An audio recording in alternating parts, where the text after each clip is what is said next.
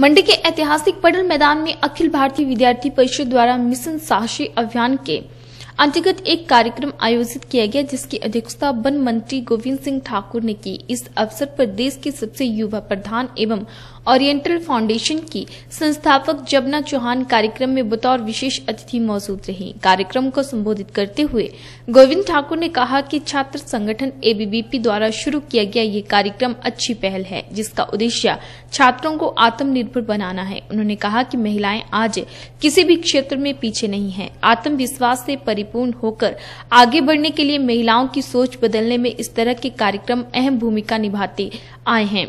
उन्होंने कहा कि महिला सशक्तिकरण के लिए प्रदेश सरकार भी कृत संकल्प है। प्रदेश में गुड़िया हेल्पलाइन शुरू की गई है, जिसके माध्यम से महिलाएँ अपने ऊपर हुए अत्याचार के बारे में सीधे सरकार को सूचित कर सकती हैं।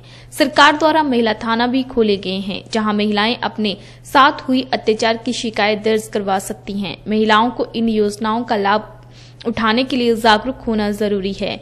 अखिल भारतीय विद्यार्थी परिषद के मिशन साहसी अभियान के अंतर्गत ऐतिहासिक पटल मैदान में आयोजित कार्यक्रम के दौरान देश के युवा प्रधान एवं ओरिएंटल फाउंडेशन की संस्थापक जबना चौहान की वन मंत्री गोविंद सिंह ठाकुर ने सराहना की। उन्होंने कहा कि बेटियाँ किसी से कम नहीं हैं।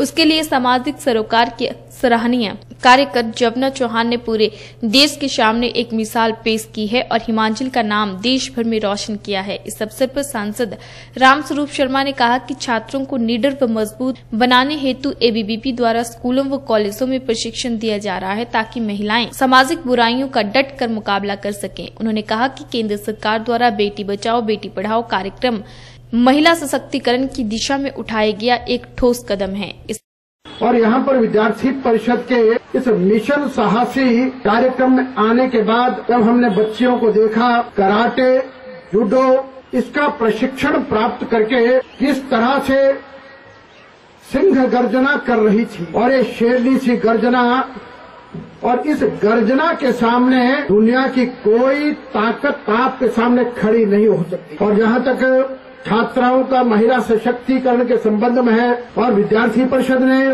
देश को एक नई दिशा दी कि देश का छात्र राष्ट्रभक्ति से परिपूर्ण आंदोलन का नेतृत्व करने वाला है। और एक बात जमुना जी ने कही, बहुत अच्छी कही। एक हम सबके सामने बहुत बड़ी चुनौती है वो चुनौती ये है कि नशे के विरुद्ध हमको चुनौती स्वीकार करनी पड़ेगी। आज हमारे प्लस वन, प्लस टू के स्कूल, हमारे हाई स्कूल, हमारे कॉलेजेस, इनके आसपास गलत तरह के लोग घूमना प्रारंभ होते हैं। उनको लगता है छोटी उम्र के बच्चे बच्चियाँ हैं किसी तरह का प्रलोभन दे करके, बहकाने का प्रयास करके नशे की आदत डलवाने की कोशिश करते हैं। इसलिए आपकी ताकत ऐसे लोगों को अपने महाविद्यालय अपने दाएँ बाएँ लगता है तो निश्चित रूप से उस चुनौती को स्वीकार करना चाहिए। सरकार और पुलिस के ध्यान में लाना चाहिए।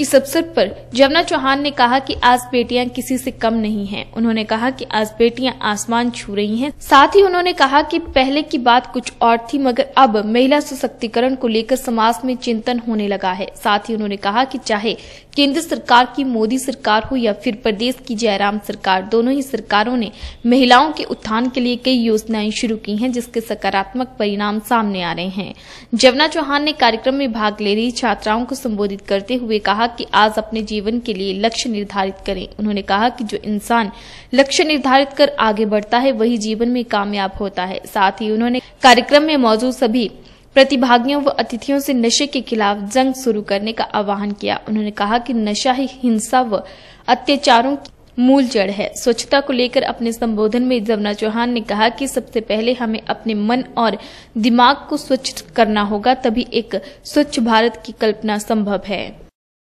अपने जीवन में सबसे पहले लक्ष्य निर्धारित करें कि आपने करना क्या है। ऐसा नहीं है कि लड़कियाँ आज कुछ नहीं कर सकती हैं। लड़कियाँ आसमान छू रही हैं। लड़कियाँ बहुत कुछ कर सकती है। सबसे पहले सोचो तो सही कि हमने करना क्या है।